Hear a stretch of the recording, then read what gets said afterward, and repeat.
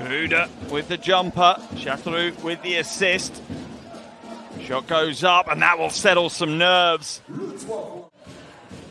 Johannes now.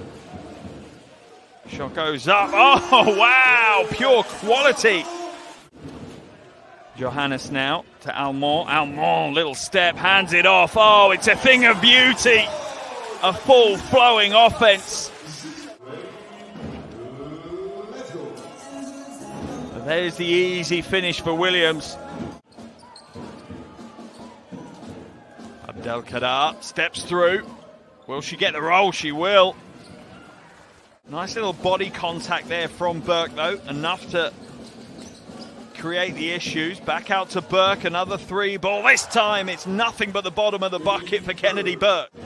Neither team playing a huge amount of tough on ball Abdelkader goes all the way through. Big rebound down low. Another offensive board. First half that has absolutely flown by. Allemand back to Gruda. Out to Williams for three! String music from the top to close out the first half. Beautiful form, beautiful footwork. She gets the payoff.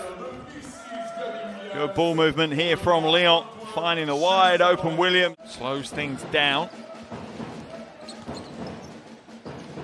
Smalls wide open for three and hits another. Oh my goodness, what a start to the second half. Johannes to Williams. Allemand for three. That's a big shot. The latter stages of this game. Williams now skips it. Siak nails the three, comes straight off the bench and has a huge. Allemand drives inside. The lane just opens up for as the defense parts its way. There's a little bit less than a second difference between the shot clock and the third quarter clock. Johannes now.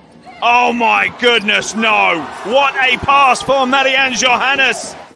Look at the pass from Johannes.